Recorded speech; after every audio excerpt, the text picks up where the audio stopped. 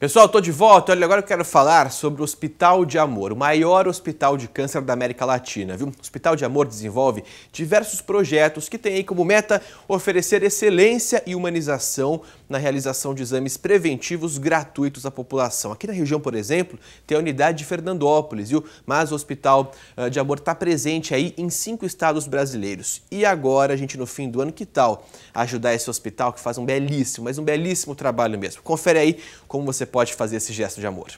Começou a campanha Caminhos de Amor do Hospital de Amor, o maior hospital de câncer da América Latina. Agora, existem muitos caminhos para fazer o seu amor chegar até a gente: por débito automático, por imposto de renda, por boleto bancário, pelo 0500 entre diversas outras formas que você encontra no nosso site. Abra o coração nesse final de ano. Afinal, o amor sempre encontra um caminho.